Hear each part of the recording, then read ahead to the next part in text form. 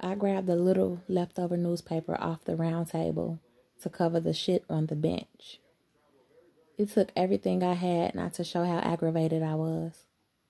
With slight attitude, I asked, So what's up? I don't talk in my car, Midnight whispered. You never know who's listening in. I laughed. Either he had lost his mind in the last four days or he was just telling a joke. Everything is fun and games for you, Winter, huh? I got serious then, too.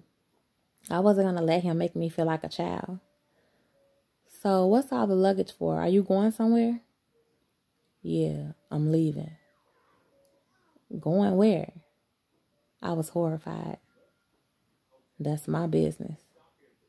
All you need to know is I'm out of here. No, that's not all I need to know, I said, standing up. I need to know what the fuck is up. Santiago said you had his money, and it should be obvious by now that I need to have it. I talked to Santiago. He said he knows what happened. The money is gone. Even the money he put aside for situations like this is gone. Somebody he trusted double crossed. The way I see it, he got raided by the street niggas and he got raided by the authorities. The authorities uncovered shit nobody but family should have known. Now niggas is turning state's evidence on Santiago. The shit is bad, real bad. Well, let me ask you something, Midnight. How come you get away smelling like you ain't had shit to do with nothing? How come everybody else is behind bars and you cruising around in your damn Acura like your shit don't stink? Because I'm smart. I figured this day would come and I planned for it. Nothing good lasts too long.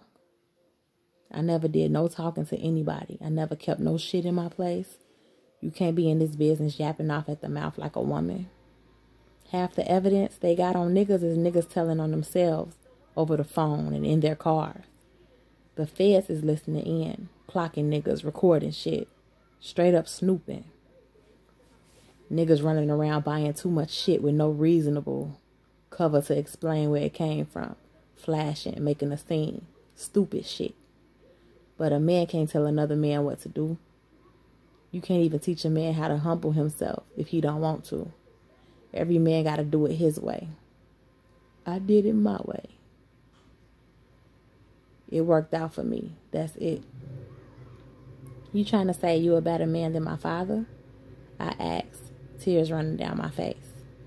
Nah, nothing like that, he said. Your father's a smart man. I learned a lot from him. Sometimes a man as smart as your father can see everything and everybody else, but he can't see himself. Your father was a shark, but sometimes he let women influence him to make moves he knew he shouldn't make. Women, are you referring to my mother? For the most part. He said in such a cool way I wanted to kill him. Did Midnight know about Dulce all along? Had he met with Santiago in Dulce's apartment the same way he met with Santiago in my house?